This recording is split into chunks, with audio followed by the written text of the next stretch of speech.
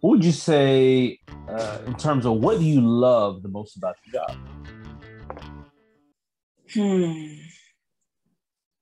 What do I love most about it? Being able to see that person come in the room, they're a bit tired. Maybe it's been a, a hard work day. They're a little stressed.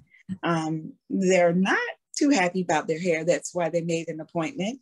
And to see them leave out feeling better as well as looking better, um, it, you get to transform more than one aspect of that person. And so I love being able to see that happen before my eyes.